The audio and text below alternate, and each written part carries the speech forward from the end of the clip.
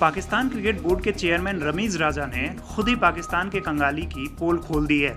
दरअसल पाकिस्तान के सीनेट की स्थायी समिति की बैठक में रमीज राजा ने दबी ज़ुबान में ना चाहते हुए ही पाकिस्तान के परजीवी मॉडल की हकीकत पेश की है।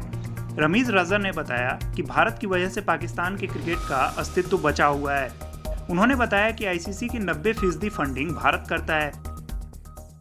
आईसीसी की फंडिंग पे 50 परसेंट चलता है। और आईसीसी फंडिंग ये होती है कि वो टूर्नामेंट्स कराते हैं और उसके जो पैसे हैं वो अपने मेंबर बोर्ड्स में बांट देते हैं। और वो जो आईसीसी की फंडिंग है वो 90 परसेंट इंडियन मार्केट से आती है। सो so, हम हमें एक तरह से इंडिया के बिज़नेस हाउसेस पाकिस्तान क्रिकेट को चला रहे और कल को अगर इंडियन प्राइम मिनिस्टर ये सोच लेती कि हम पाकिस्तान को फंडिंग नहीं देंगे तो ये क्रिकेट बोर्ड जो है, ये कलाप्स भी हो सकता है। वहीं पीसीबी की ओर से आईसीसी में फंडिंग के सवाल पर रमीज राजा ने कहा कि हमारा कंट्रीब्यूशन ज़ीरो है।